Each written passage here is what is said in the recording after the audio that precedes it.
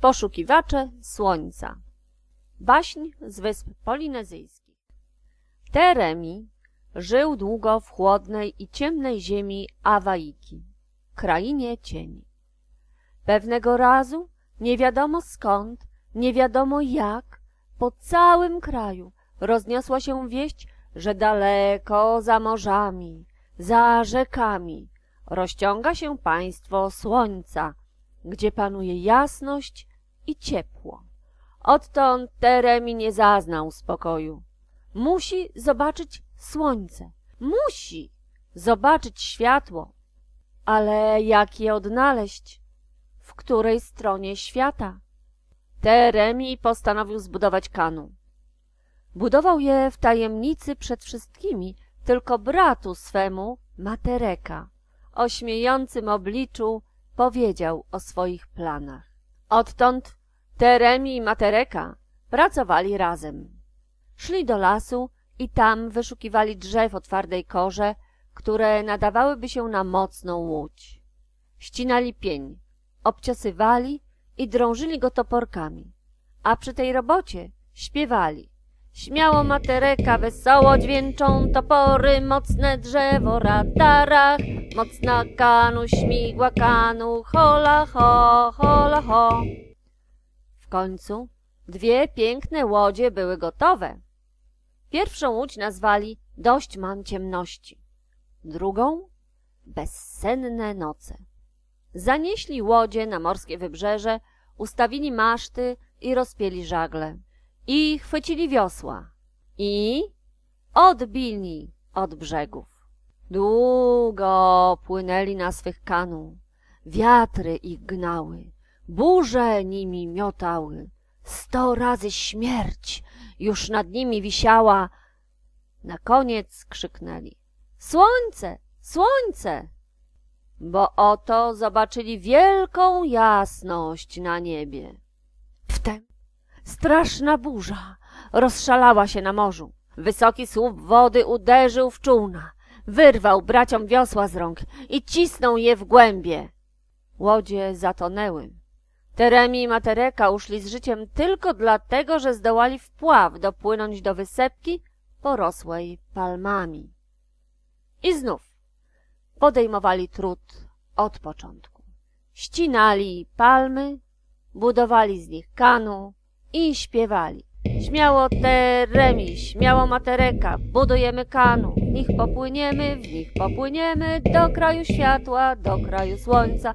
Hola he, hola ho, hola he, hola ho. Znowu stanęły dwie piękne łodzie. Jedną nazwali pożegnanie z ciemnością, drugą, że była zwinna i chybka i nad podziw smukła. Nazwali tańczącą. Spuścili je na wodę, nastawili żagle, chwycili wiosła i popłynęli w stronę słońca. Płynęli długo, długo, aż przypłynęli na krańce państwa ciemności. Daleko, daleko, na wysokim niebie świtała jutrzenka. Lecz nagle na morzu zerwał się tajfun i obie łodzie poszły na dno. Teremi i Matereka, ledwie żywi, dopłynęli do wysepki.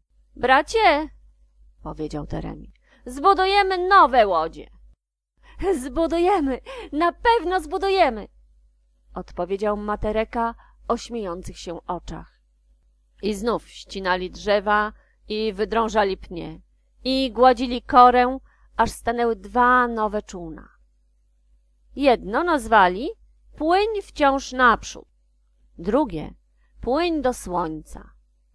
Zaledwie oddalili się od brzegu, kiedy znów gwałtowny wicher wyrwał im wiosła z rąk, a oni długo walczyli z falami, nim wreszcie ich nie wyrzuciły na brzeg wyspy. Na tej wyspie mieszkał stary rybak. Teremi i Matereka poszli do niego i powiedzieli Ojcze, poradź, co mamy czynić. Trzy razy budowaliśmy kanu z pni drzewnych, by wyruszyć na nich do kraju słońca. I trzy razy burza jest trzaskała. Rzekł im starzec. Obraziliście widać władcę grzmotów i burz i wichury, te Tingerongo. Nazwijcie swe łodzie na jego cześć grom i błyskawica. Teremi i Matereka wzięli się z powrotem do pracy. Ścinali drzewa, drążyli pnie i śpiewali. Hola he, hola ho, Matereka teremi, Matereka teremi, Kano budują znów błyskawice i grom, błyskawice i grom, hola he, hola ho. Wypłynęli w pięknych nowych kanu na morze. Fale były spokojne, łodzie pędziły jak wiatr. Już pozostawili za sobą ziemię ciemności, chłodu i cienia. Przed nimi było światło, jasność i ciepło. Słońce! Słońce! Zawołali Teremi i Matereka. Po raz pierwszy w życiu mogli je oglądać. Aż oczy mrużyli od blasku. I zaśpiewali radosną pieśń na cześć słońca. Odtąd ludzie nie żyli więcej w ciemności, bo wywiedli ich stamtąd na światło Teremi i Matereka.